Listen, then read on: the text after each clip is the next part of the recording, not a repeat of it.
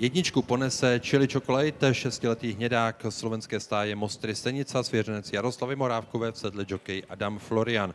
Hmotnost 59 kg. Chili Chocolate už dosáhl šesti vítězství ve své kariéře. Vyhrál v Bratislavě jesený handicap, letos v Praze memoriál Jaroslava Maška a bude to jeho první představení na Mosteckém hypodromu. Číslo dva ponese obhájkyně loňského vítězství Sweetikon, šestiletá hnědka stáje PMA Racing Syndicate, trenér Václav Luka, jokejka Pavlína Filipová, hmotnost 57,5 kg. Pavlína Filipová Svítikon vedla i při loňském vítězství v tomto dostihu. Celkem šestiletá klisna dosáhla už 11 triumfů v kariéře. Trojku má Benediction, šestiletá ryska stáje Dar, trenér Ludvík Harris, žokej David Liška, hmotnost 57,5 kg. Také Benediction eh, má na kontě řadu triumfů, konkrétně devět.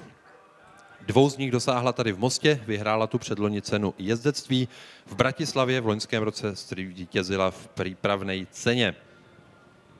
Číslo čtyři ponese Mano a Mano, čtyřletý hnědý valach stáje doktorky Evy Neslaníkové. Trenér Miroslav Něslaník, žokej Tomáš Lukášek, hmotnost 59 kg. Mano a Mano zatím nezvítězil ve 12 startech kariéry, ale má na kontě řadu cených umístění, například tady z mostu druhé místo z předloňské ceny zimního favorita. V loni v Praze byl druhý v memoriálu Václava Michala, letos rovněž eh, v České metropoli finišoval druhý v Gomba handicapu a druhý byl i v memoriálu Jaroslava Maška. Číslo pět má německý host Power Jack, čtyřletý Rizák Valach, stáje Gestit Linzen und Gold Racing, svěřenec v Německu působícího českého trenéra Bohumila Nedorostka. V sedle bude hm, dvojnásobný vítěz eh, svatováclavské ceny, jockey Jiří Chaloupka, hmotnost 59 kg, Powercheck zatím vyhrál v Německu dva dostihy, nejprve dostih pro nezvítězivší a tak, eh, pak také handicap třetí kategorie, obojí v loňském roce. Letos už se posunul i do dostihů nejvyšší třídy, byl šestý v Drážďanech kategorii grade, Grupa 3 a naposledy třetí v listet dostihu v Hanovru. Šestku má Ultimate Fight, šestiletý Rizák Valach, stáje Václav Slovák, trenér Zdeno Koplík, žokej René Koplík, hmotnost 59 kg. Ultimate Fight nazbíral sedm vítězství v kariéře.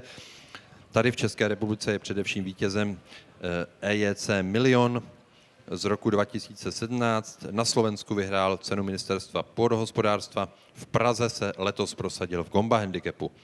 Sedmičku má jeho tréninková kolegyně Manola, sedmiletá hnědka stáje Dagmar Dostálová. Sedle bude mít Manola jokeje Jaroslava Línka, hmotnost 58 kg. Klisna už vyhrála sedmkrát ve své kariéře. Letos začala hetrikem. Z těchto tří vítězství jednoho docílila i tady v Mostě 12. června. Naposledy finišovala v pražské ceně Norigine čtvrtá, to bylo před dvěma týdny. Osmičku ponese Rabbit Havana, pětiletá hnědka stáje ML Racing, druhá klisna Václava Luky v tomto dostihu, v sedle bude žokej Petr Foret, hmotnost 57,5 kg. Rabbit Havana je právě tím koněm, který byl v loni úspěšně prodán po dostihu s prodejními podmínkami. Na Češ Rabbit Havana vyhrála v Praze memoriál Harryho Petrlíka, to je jedno z jejich dvou zatímních vítězství. Tady v Mostě byla předloni čtvrtá v Českomoravské ceně. Letos si připsala například třetí místo memoriálu Jaroslava Maška nebo páté ve Velké květnové ceně. Naposledy byla v Hopegartnu v Berlíně těsně druhá. Devítku ponese Matelo, tříletý černý hnědák, další nová akvizice stáje Lokotrans, svěřenec Zdena Koplíka v sedle žokej Václav Janáček, hmotnost 57,5 kg. Matelo zatím absolvoval 8 dostihů na francouzských drahách, nezvítězil, ale ve všech osmi získal dotované umístění. Číslo 10 má šampion Mr. Wright, osmiletý hnědý valach stáje doktor Charvát, svěřenec Františka Holčáka v sedle žokej Jan Werner, hmotnost 59 kg. Mr. Wright je vítězem svatováclavské ceny z roku 2017. Eh, v loni a předloni byl v tomto dostihu druhý. Tady v Mostě vyhrál i Českomoravskou cenu, a to dvakrát v posledních dvou letech. Celkově má na kontě už 14 triumfů, včetně maďarské Overdose nebo slovenské ceny Mise, kterou vyhrál dvakrát. Dnes nastoupí tady v Mostě k jubilejnímu 40. startu své bohaté kariéry. No a jedenáctku ponese lekcí devítiletý Rizák Valach, druhý zástupce stáje doktorky Evy Něslaníkové v tomto dostihu, svěřenec Miroslava Něslaníka v sedle žokej Jan Rája, nejúspěšnější jezdec historie mosteckého hypodromu. Jan Rája už tady vyhrál 82 dostihů. Hmotnost ponese lekcí 59 kg a je to kůň, kterému se tady na zdejší dráze daří. Vyhrál pět dostihů, z toho tři právě tady v Mostě. V loni to byla eh, severočeská sprinterská cena. V Českomoravské ceně tu byl dvakrát druhý za Mr. Rightem a naposledy se prosadil i v Praze Velké Chuchly. V polovině července tam vyhrál dvojkový sprinterský handicap. Koně v boxech.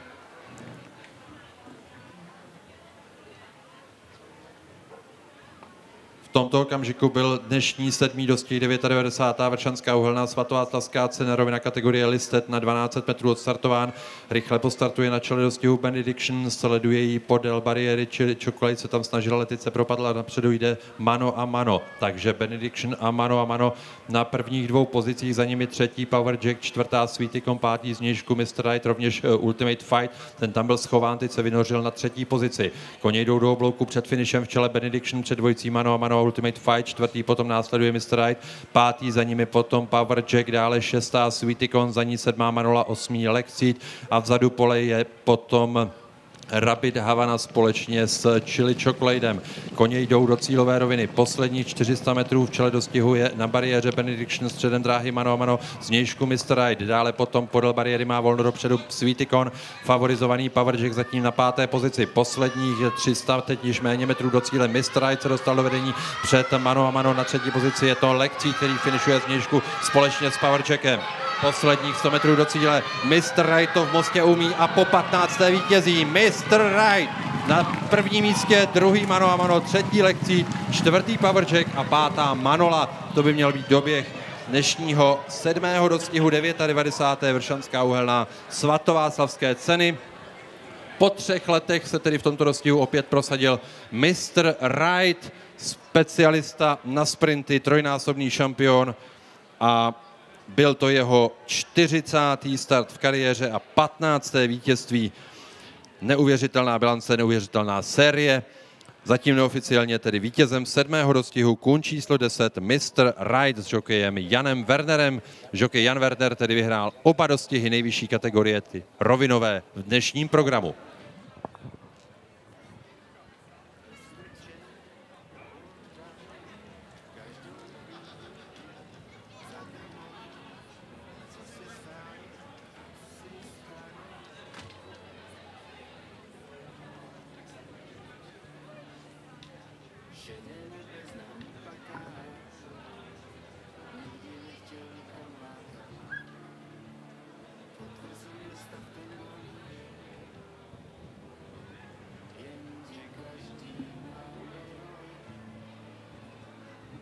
psané protokoly. Úskle okna, kapka kana, ta si taky sakra zvolí, co jí co se stane. Dneska než se začal smrát. Viděla jsem.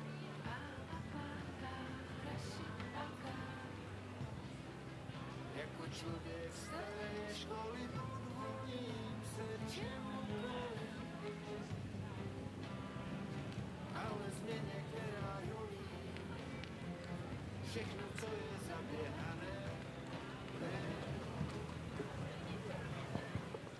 Neoficiální pořadí na prvních eh, pěti místech cíli sedmého dostihu. První místo číslo 10 Mr. Right, druhé místo číslo 4 Mano a Mano, třetí místo číslo 11 Lexi, čtvrté místo číslo 5 Power Check a páté místo číslo 7 Manola.